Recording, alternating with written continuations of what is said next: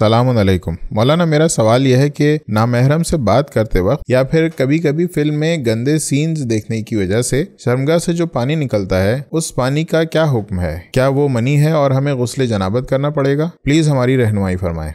इस्लाम ने नामहरम से रबता रखने पर रिलेशनशिप में जो पाबंदी लगाई है उसका फलसफा ही यही है कि जब इंसान किसी नामहरम को देखता है या उससे बात करता है या इस, या किसी तरीके से उससे रिलेशनशिप में होता है या फ़र्ज़ करें कि अगर कोई गंदी फ़िल्म देख रहा है कोई गंदी फ़ोटोज़ देख रहा है तो ये सब चीज़ें इंसान के अंदर उसको हासिल करने की उस तक पहुँचने की तलब और ख्वाहिश और तमन्ना पैदा करता है और इसका नतीजा ये होता है कि इंसान गुनाह में पड़ जाता है। और कभी कभी इंसान की ये हरकत और ये काम इंसान को ऐसे गुनाह के दलदल में डाल देता है कि फिर इंसान की वहाँ से वापसी और उससे नजात बहुत मुश्किल हो जाती है। लिहाजा हमें चाहिए कि इस्लाम के कवानीन पे अमल करें, उसकी पाबंदी करें, ताकि हम अल्लाह के अच्छे बंदे भी बन सकें और बड़े गुनाह और बड़ी मुश्किल में पढ़ने से बच जाएँ। अब जहाँ तक सवाल यह है कि अगर इंसान कोई शख्स किसी नामहरम से बात कर रहा है या कोई गंदी फ़िल्म या फ़ोटोज़ देख रहा है और उससे कोई पानी निकल रहा है, कोई लिक्विड निकल रहा है तो इसका क्या हुक्म है? तो देखिए, अगर इंसान किसी नामहरम से बात कर रहा है या फ़र्ज़ करें नामहरम से नहीं बात कर रहा है कोई गंदी फ़िल्म देख रहा है, फ़ोटोज़ देख रहा है, या खुद अपनी बीवी के साथ छेड़छाड़ कर रहा है तो अगर उससे कोई पानी निकलता है तो इसका हुक्म ये है कि अगर ये पानी उस वक्त निकला जब इंसान की शहवत उरूज पे थी, यानी शहवत के साथ निकले, दूसरे ये उछल के निकले, और तीसरी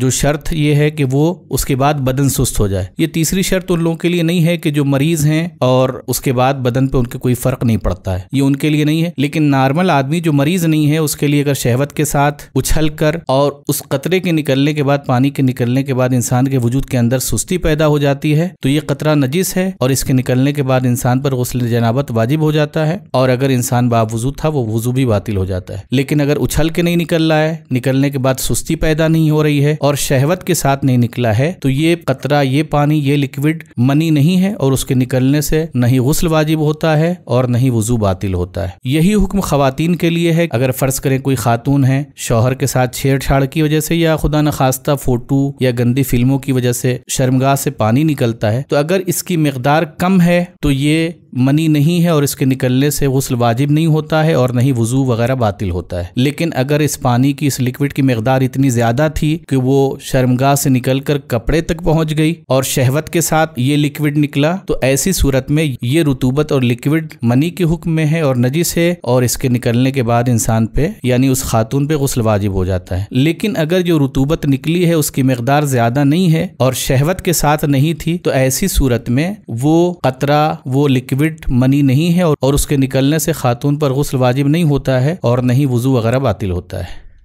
दोस्तों, हमारी आपसे गुजारिश है कि आप हमारे चैनल को ज़रूर सब्सक्राइब करें, अपने दोस्तों को, अपने रिश्तेदारों को और दीगर मोमिन को भी इस चैनल को सब्सक्राइब करने की दावत दें। और अगर आपके जहन में कोई सवाल मौजूद है तो आप यहीं कमेंट बॉक्स में अपने सवाल को पूछ सकते हैं या आप हमारे दिए गए इंस्टाग्राम पेज पर भी अपने सवाल को पूछ सकते हैं। अगर आपका पर्सनल सवाल है तो आप हमारी दी गई ईमेल आईडी पर, कि जो यहाँ पर मौजूद है, पुरानी आईडी हमारी डिलीट हो चुकी है, लिहाजा इस नई ईमेल आईडी पर आप अपने सवाल को भेज सकते हैं। अगर आप हमें हेल्प करना चाहते हैं, मदद करना चाहते हैं तो पैट्रियन के ज़रिए से मंथली मेंबरशिप हासिल कर सकते हैं। पैट्रियन के लिंक डिस्क्रिप्शन में मौजूद है। और अगर इसके अलावा किसी और ज़रिए से आप हमारी मदद करना चाहते हैं, हेल्प करना चाहते हैं तो हमारे इस नंबर पर ज़रूर रब्ता करें।